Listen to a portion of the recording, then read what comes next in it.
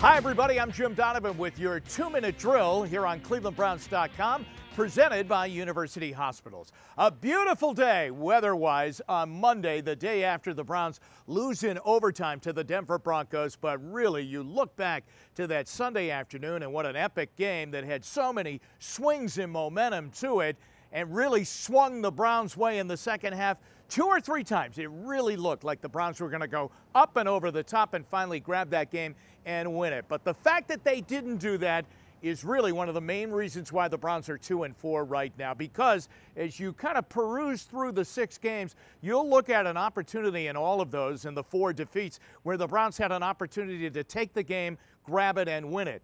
The ability to do that certainly lies with a guy like Peyton Manning, who's been down this road many, many times. And even when he's having an off day, he suddenly hits some kind of button and reaches into his past and his experience and pulls the game out. And until the Browns can do that, I think they're going to struggle in games such as the one on Sunday afternoon at the stadium.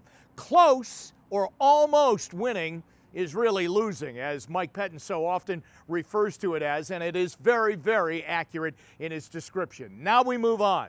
St. Louis coming into the game on Sunday at home for the Rams, and the Rams coming off a bye week. They're at two and three. They are a team that can be explosive now in the running game because they've got a great young runner out of the University of Georgia who is finally healthy, Todd Gurley, an explosive running back on turf that's going to be a real challenge for a Browns run defense that has struggled through the first six games. For the Browns, they're going to have to just try and put some of the defeat bad taste of that defeat from Sunday against the Broncos, put it behind them, and try once again to get back on the winning side this Sunday. Road victories are always sweet and the Browns will try and get one in St. Louis this Sunday against the Rams. That's your two minute drill. I'm Jim Donovan. Thanks for joining us on ClevelandBrowns.com.